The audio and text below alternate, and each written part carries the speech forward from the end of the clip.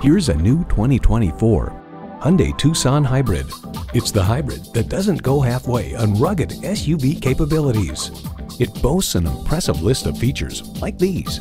Intercooled turbo inline four-cylinder engine, dual zone climate control, integrated navigation system with voice activation, steering assist cruise control, voice activated climate controls, inductive device charging, streaming audio, hands-free liftgate, smart device remote engine start, and automatic transmission.